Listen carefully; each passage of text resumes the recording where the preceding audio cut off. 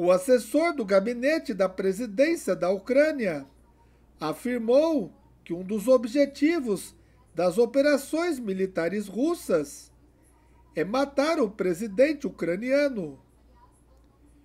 O cenário básico da operação especial da Rússia é claro.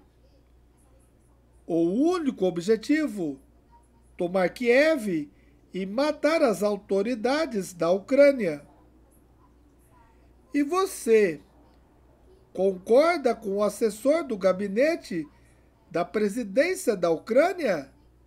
Deixa aí seu comentário.